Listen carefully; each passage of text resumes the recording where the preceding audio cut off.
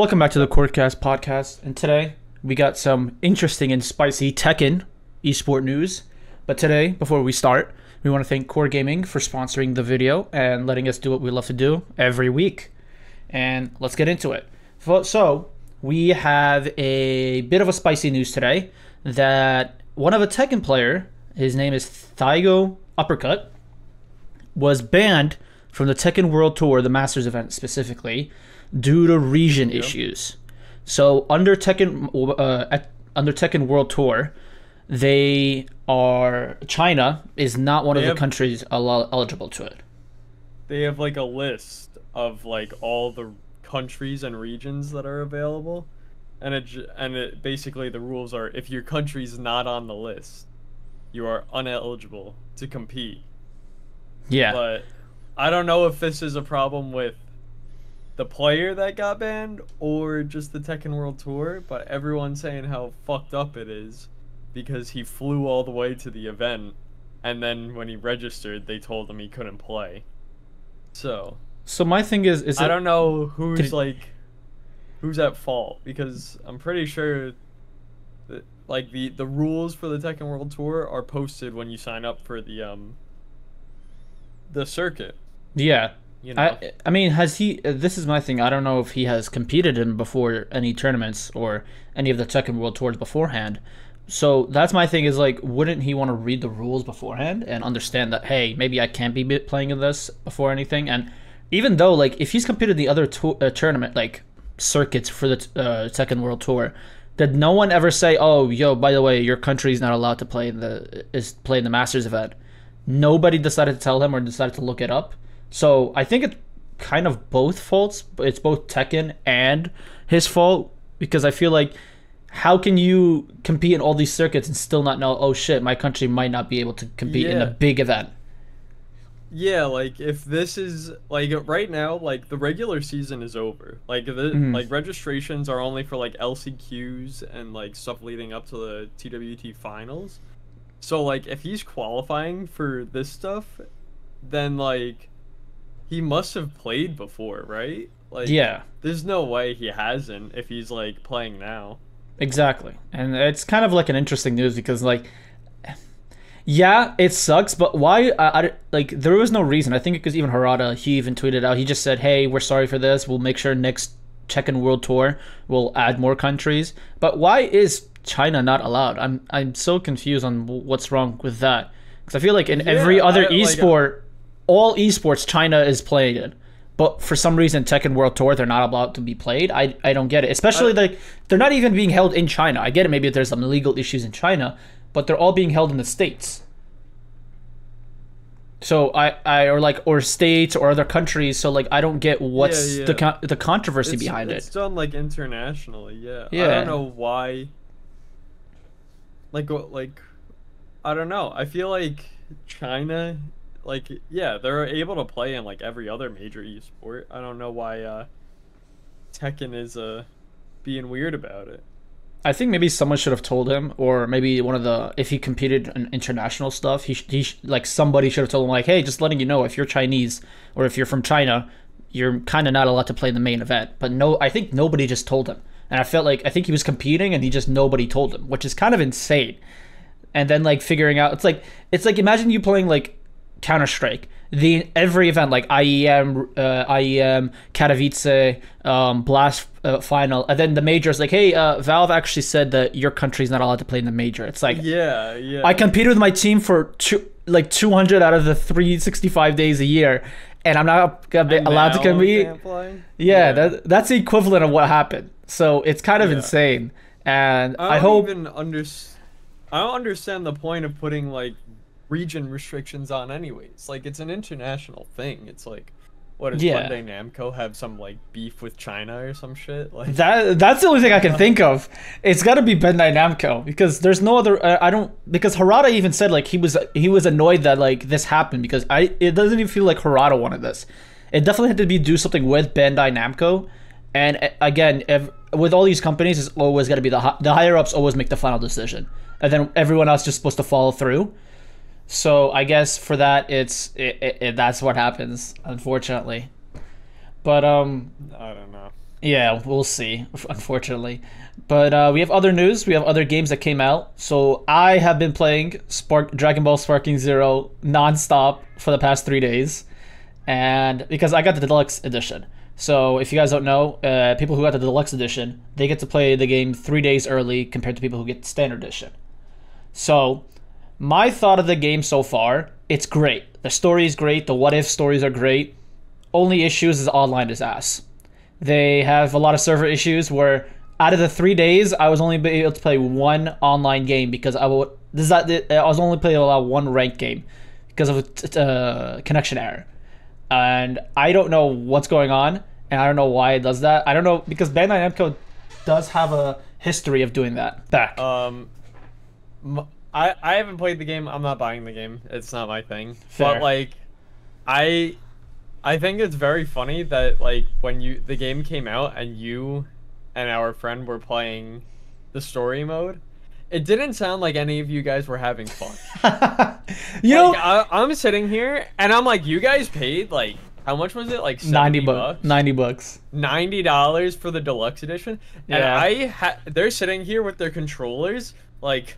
This fucking guy is so bullshit, and I hate him. Why can he do that? And I'm like, you guys just paid ninety dollars to play a game two days early, and it seems like it's causing you nothing. Nah, rage. it's one boss What? fight that pisses me off. It's one boss fight that got the entire community pissed off. It was so if anybody don't know, it's Great Ape Vegeta. He so the thing is with this boss fight, okay? He turns into this great ape. He's big, right? And then you're still a little guy. You're still human form or Saiyan form. You're still a normal guy. The thing is, normal punches don't work on him either you charge up an attack and then you like charge up like a like a big hit and then he flies away or you just beam him and just throw ki blasts at him so the issue is with that is that he can charge at you like a normal person like full speed and then he can grab you and then when he grabs you he takes half your health and then he just the issue with him he gets back his ki his uh, his energy so fast that he just spams you with a uh, with bla- uh, with ki blasts. So the only way to beat him is to charge up play distance and then ki blast him and just play just keep playing distance. Because if he gets close to you he's gonna grab you and then your half your health is gone. So that was the boss fight that pissed me the fuck off the most out of everyone. I don't know. Then I hear like when our friend plays online, he's like, "No way, this guy does that. That's total bullshit and stuff." I like I have like everyone can, while they're oh. playing the game makes it sound like it's the worst fucking game that's ever come out, and then everyone's like, "Oh, but the game's so good." yeah it like, is It, that's it sounds like everybody fucking hates it while they're playing. no no no no we actually love the game it's just there's the, No, the boss haven't are- oh, that's so cool. I Nah, I have said that. There's oh, a- that's so bullshit. Oh, this fucking sucks. No, there's a lot of good on things. Twitter like Dragon Ball eh, game of the year, honestly. Like, I'm like, I haven't heard anyone playing it sounding like they like the game while they play. it. Like, it sounds like Valorant. Like, no Nah. one seems like they like the game, but everyone like can't stop playing it. Okay, okay. Here's my thing, right? When Elden Ring first came out, and some of the bosses were just like obno- like obnoxious, like no one knew how to beat them. People were pissed, right? But they were angry, and they were like, they were like, "Bro, this is bullshit," or "This this boss is bullshit," or "This is bullshit." But then everyone would be online. Elden Ring's kind of game of the year, actually. That's literally what the same exact thing. Like the thing is, I really don't think so because the I think so. difficulty in Elden Ring isn't artificial like it is. No, Like, no, can the turn CP difficulty up and down. What like what is they what do they do differently? Do they play differently or do they just do like more damage on higher difficulty? No, they just they're just uh, so. For example, if you the the standard difficulty is already hard enough. It's like hard. The standard difficulty is hard mode, and then you have the option to lower the difficulty. But the thing is, everyone's like, But no. What changes? What changes in So they're able to predict your moves. They're able to block your moves. They're able to Okay, like so counter your moves. difficulty. If they can predict your moves, that's called input reading, and that's fucking fake. No, no, no, no. So more like if you keep doing, uh, if you, uh, if I just come up to you and start punching you, then be like, all right, I'm just gonna block you or counter you if you just keep doing that. So it's not, it's like you're playing an actual player, like a season pro, basically. But as a pro, like they don't do additional damage. They don't have any like booster stats. They just able to fight smarter. That's all it is. their AI is so art it's smart. That's what that's the whole thing about the game. It's like their standard difficulty is kind of already hard. And then I so for me, I played the whole Goku storyline. So I beat the whole Goku st- storyline and Great Ape Vegeta is not as hard as compared to some of the later bosses. Because some of these later bosses, they are difficult. And they are like when you go when you fight Beerus when you fight Jiren. So the thing is, uh, with the storyline, right? There is what ifs. So there's the main path of the story that everyone knows, but there's what if stories that you can branch off to that the, the game made. The thing is with that is the main storyline, the only objective is hey, survive for two minutes. Okay? That's how you continue with the storyline for some of the some of these boss fights. But to get the what ifs, you have to beat these guys in under two minutes. So hmm. it's a so if you can't beat them and you can't get the what if stories, and then the thing is with that, what they made it even harder. If you lower the difficulty, you can't get the what ifs. So you have to be you actually have to get good at the game for you to get the other stories which is that's my thing because I've I've done some of the what if stories and low key they have been sick as fuck some of the what if stories, but you have to like actually learn how to play the game. But I mean, again, overall, the only issue I had is the online connection. Like, I am not the only one. I've had people who little DM me who's like, "Yo, um, do you- have you had issues?" Also, I'm like, "Yeah, I've had issues where I get online before the match even starts. Like, oh, you could party with someone. I got in, connection error, and then the game ends. I've got out of the three days, I got one game to play. I managed to play one online game, and I'm not the only one. dollar company, by the way. Yeah, it's like come on, it's bullshit. And I hope today they come out with like a patch notes to release it, like to fix it and shit. But it's been really annoying. Mhm. But overall, I've been enjoying Sparking Zero. It is a good game. Game of the year? I don't think so. There's been other games that have been much much better. I feel like deserve Game of the Year, like Black Myth Wukong, Silent Hill 2 that we're about to talk about. Uh, I mean, other games that are, have been really really good, but I don't think it's gonna win Game of the Year. But it is a very very good game. Mhm. So now we get to talk about your the game you've been playing. Silent Hill 2 remake came out Yep. on Sunday because I uh, got the deluxe. Amazing. I played it. I was very scared. I wish I recorded it, but Ennis heard me scream the other day. I've never heard I've you scream that one. Did I?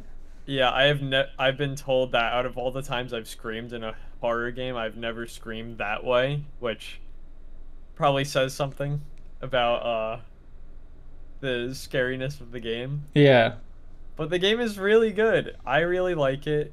Um if you've played the original, I think I think if you've played the original and you tell yourself that the original is better, you you're probably just coping. Um cuz in this one they redid all the voice acting, so it doesn't sound like two like two AI put in the same room next to each other like talking to each other, you know? Yeah. So that's really good. The combat is difficult, but it feels fair. Um, the story is, of course, the uh, the best part of the game. And there's like they added more endings, I believe, to it. Um, Yeah. So me, I'm dog shit at the game, and I was constantly at one one HP through the majority of my playthrough. And apparently, one of the endings has criteria that you have to be at low health for an extended period of time. Yeah. So I got punished for get it by getting the bad ending because I'm dog shit at the game. So, So is the whole I have to replay it. So the whole point of the game, like you're basically like how you explained it, is you're trying to find your wife, right? And then you Yeah. go into this other world. But like I was watching you play, and I was like, oh, like you get to have a gun, and then you said, oh, even if you have a gun, you're still gonna be like doesn't even matter, like even with guns or anything. So when you when it came to the I- combat, was it like that difficult to the point where you were always on low? Like, can you just go in and just start swinging, or you actually have to be smart with the like gameplay? It's got. I, I'm not gonna say it's like Dark Souls because it's not, but it's basically like every enemy has a sort of like attack time, Mm. and like it's like swing, swing, and then you dodge, swing, swing, and then you dodge, and each enemy has like a different one, but sometimes they vary it, and some enemies just take fucking forever to kill. Yeah. But even though you have guns, ammo is very very limited. Like- Okay.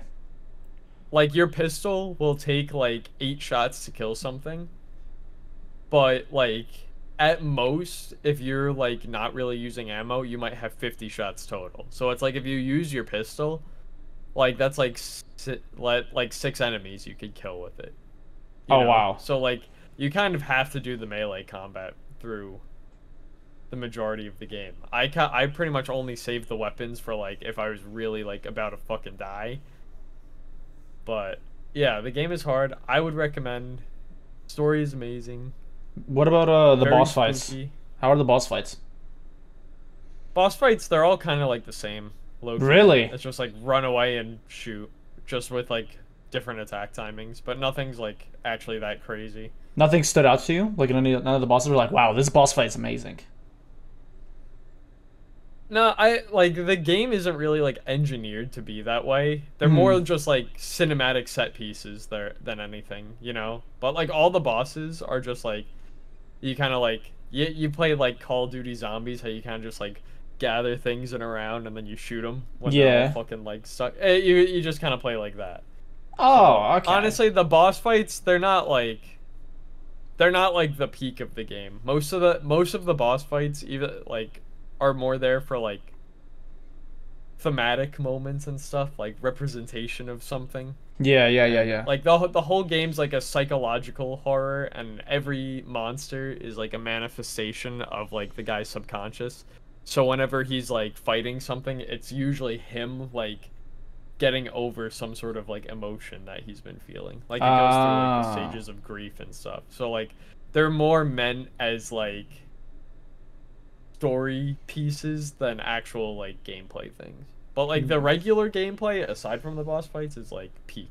Yeah. So- So I mean, I know you said the horror aspect of it, but was it? Is it more like? Is the horror aspect a lot? A lot of just jump scares, or is there like actual like feeling? Like it drags out it's the feel.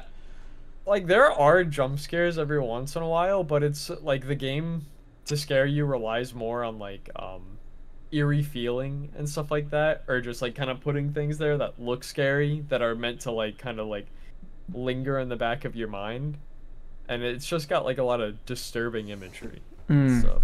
But So it's more just like a subtle like, like the audio. I, I'm get like how's I mean you're the audio guy, so like how's oh, it the like? audio is like actually peak. If you Right? like, play with headphones, play with headphones. It's like so good. You can tell exactly where everything is. There's yeah. Like, if there's like bugs crawling around, like you hear them fucking crawling up the walls. And Does it feel like it's like right next to you, or like it's gonna climb Oh up? you? yeah, yeah. I don't know what um audio engine they use for the game, but like, it's really precise. It, it's definitely an experience. If if people are vaguely interested in it, I maybe like sixty dollars. I got the deluxe edition because I'm I've been a Silent Hill fan for a minute, but um, if you're like on the fence, like wait for a sale and definitely pick it up. It's like the original game took like maybe seven or eight hours to beat. Uh, my playthrough, my first playthrough took me of the remake took me like thirteen hours. So Okay, so there's a lot of content to it. Like it's Yeah, worth yeah. it, but you want people to wait for it, not like get it right away. I I would say like I think sixty dollars is a little steep. Even though the game is meant to be replayed on subsequent, like nothing is like your first playthrough. You know, oh, like, oh, each one is different. because because it, well well what I'm saying is like the experience on your first playthrough is nothing like new ones because then you know what's coming. It's a horror game. It's not like Elden Ring Ah, where you- okay, yeah. where you can like get you beat the game and then go I want to beat it again but with like a different build and suddenly the game's totally different. It's not like that. It's like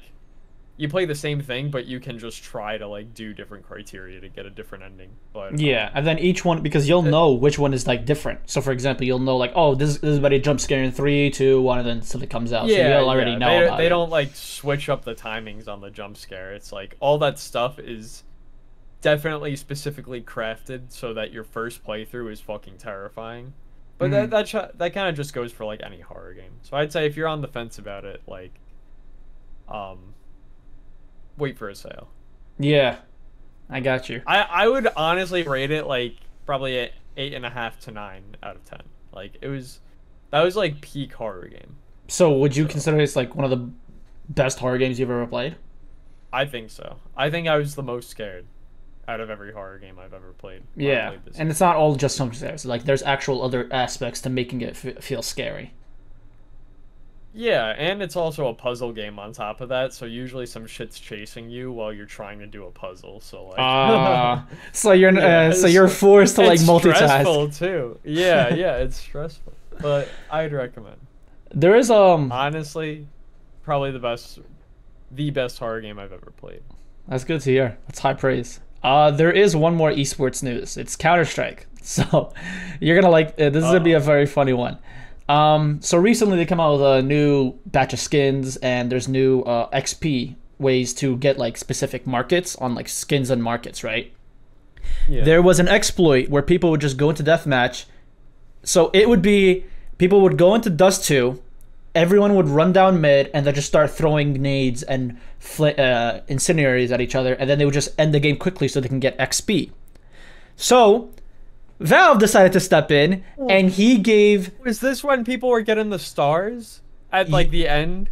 yeah You know what I'm talking about? You have to get like to a certain level to get the star, and like before you continue, sorry to cut you off. No, no, but, you're like, good. Isn't it that like the only way to get this star would be like to play like every day for like multiple hours, like in a year? I think Like so. someone made someone calculated it and it's like you have to play like 3 or 4 like games, like rank games a day for like a year to get like enough XP.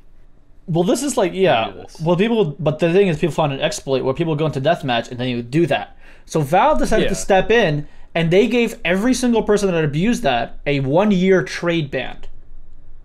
So they banned them for a year to trade any skins. So it's not only that they gave it to YouTubers also and creators that were known for skins and all that. So there's this one uh, streamer or YouTuber named uh, Sparkles. His goal was he wanted to do a Dragon Lore trade up to number one float, right? So his thing is, oh, I'm gonna do extraordinary trade ups, open boxes, and all that, right? Now he has a one year ban and he can't do that. So not only does this affect him, but it affects his content also now because he can't do trade ups anymore and he can't buy skins, he can't trade skins anymore. He Yeah. th- they gave everyone and now everyone's freaking out. It's like, bro, what? And then everyone's trying to freak out and give it to uh, try to uh, message Valve, yo, can you unban me? I have this skin, this skin, this skin. And some of these people that got banned, they have like thousands, tens of thousands of dollars worth of skins, like rare skins, and now they're a year trade ban. So I keep fucking seeing tweets like I get trade banned for playing deathmatch, but then this guy's been spin botting for the past year and he's still not banned. It's like, what are the priorities? Yeah, it's kind of insane. Like Valve, when it comes to cheaters, they don't do anything. Valve, when it comes to exploiting to get skins, now they step in and get involved. Like I guess they that shit costs more money. they really do hate Counter Strike. I've never seen a company hate their own product. It is it is wild to me. Like they have priorities, and I know they already know they're already uh, working on Deadlock. I get that, but my God, they really hate Counter Strike They're the really community. picking the wrong fights, man. Man, Like, it is doesn't make any sense. it is i saw that and i was like wow they really do hate the community like i've never seen a company hate their community so hard as counter-strike hates uh, uh, valve hates counter-strike. It is kind of insane. But that was like a little interesting news that i saw and it's kind of funny because now um I guess like they just really don't care. Because they already fixed like for me uh, I already said this before but they already fixed t- uh, Team Fortress 2 like the game is fixed. Like they removed all the bots they fixed the game and now the, the game is thriving with like 60 70k players every day so Yeah. it's not it's so funny how they if they want to Valve could fix it but they just choose not Yeah, to if they really want to, they could just do everything, but yeah, they just fucking hate their community. Valve is that like one lazy person where when that lazy person actually tries to do something, they can get it done, but then they just choose to be lazy. So, love Valve, but my God, they are fucking over the CS community. And uh, yeah, that's all uh, the news for today. I think that's uh, interesting news. We have a lot of it. Make sure to, if you guys get Dra- uh, Dragon Ball Sparking Zero, make sure to play. It's really, really good. And Silent Hill, very. Both games have been praised. I think all the reviews have been either nine out of ten or ten out of ten for both games. It's kind of insane. Yeah. So like, gaming is a W right now. So if you are and um, yeah, I think everything has been good. Thank you for watching. Make sure to check out qorgaming.com slash shop for any merch or any merchandise you guys want to get. We still have a few stuff. We still have jerseys, shirts, shorts, and socks and all that stuff. But uh, yeah, thank you guys for watching. See ya. See you. Bye bye.